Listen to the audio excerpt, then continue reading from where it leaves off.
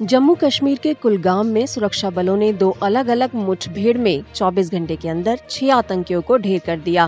केंद्र शासित प्रदेश के डीजीपी आर आर स्वैन ने रविवार को पुष्टि की। मुठभेड़ दक्षिण कश्मीर ज़िले के फ्रिसल चिन्नीगाम और मोदरगाम इलाकों में हुई। फ्रिसल चिन्नीगाम इलाके से चार शव बरामद किए गए, जबकि मोदरगाम इलाके से दो आतंकवादियों के शव को बरामद किया गया। कंफर्मेशन के हिसाब से दो दो अलग अलग इनकाउंटर साइट्स पे इनकाउंटर्स हुए हैं। बॉडी की कंफर्मेशन के हिसाब से छः आतंकियों का मारे जाने का खबर है। निसंदेह ये एक बहुत बड़ा माइलस्टोन है, बहुत बड़ा प्रोग्रेस है। सिक्योरिटी एनवायरनमेंट में मजबूती लाने के लिए ये सक्सेसेस बहुत मायने रखते हैं। जम्मू कश्मीर पुलिस के मुताबिक शनिवार को सुरक्षा बल ने इलाके की घेराबंदी कर तलाशी अभियान शुरू किया और आतंकियों से सरेंडर करने को कहा।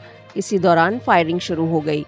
इन अलग अलग मुठभेड़ों के दौरान एक पैरा कमांडो समेत सेना के दो जवान शहीद हो गए।